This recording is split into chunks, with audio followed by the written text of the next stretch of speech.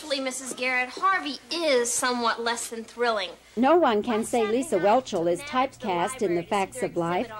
She and Blair are totally different. Blair is rich and spoiled. Lisa is middle class and polite. Even their speech is different. Off screen, Lisa's accent slips from finishing school to Texas. Instead of the usual Hollywood talk, Lisa Whelchel might discuss her appearances at churches or a Christian music album she's working on. The fact that you talk about being a born again Christian, did that come from any particular incident in your life, Lisa?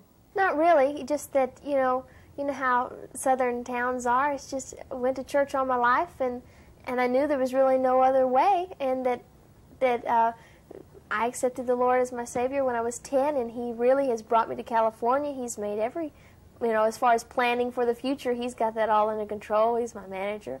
And so um, He's just the number one priority in my life and always will be.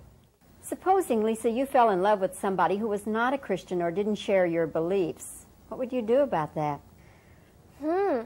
Uh, that would be a real tough one. That would be a real tough one. I don't know. I um, I don't really date that much, and so I don't know. It would be real difficult. I would have to deal with that if it if it came along because I do believe that you know there has to be a common denominator there, which is the main thing in my life is that, and I don't know, couldn't see how it could work, but maybe it could.